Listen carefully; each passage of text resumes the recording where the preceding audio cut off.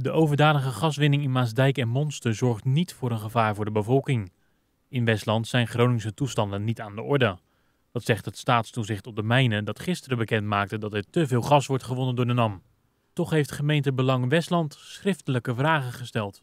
Er is geen acuut gevaar geweest, maar normen zijn wel overschreden. En wij willen wel weten hoe ver die normen zijn overschreden en hoe die normen worden vastgesteld. Want er zal een nieuw winningsplan gemaakt moeten gaan worden. En op, daarin moeten we wel zorgen dat de veiligheid van onze inwoners geborgd is. Ik schrok er wel van dat er een overschreding heeft plaatsgevonden. En dat wij via de media als politiek dit hebben moeten vernemen. Dit had op een andere manier gecommuniceerd moeten worden. De NAM zegt dat de overschrijding komt doordat zij van een ander meetpunt uitgaan dan de toezichthouder. Maar toch is een aantal inwoners van Monster argwanend.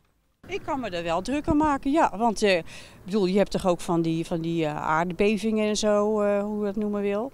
Hè? En dat die, gaat niet gelijk, maar na jaren. Het zal niet zo erg worden als in Groningen, maar ehm, nee, ik vind wel dat dat goed onder de aandacht gebracht moet worden. Maar ja, dat is een kwestie van beleid misschien, hè? Moet goed op toegezien worden.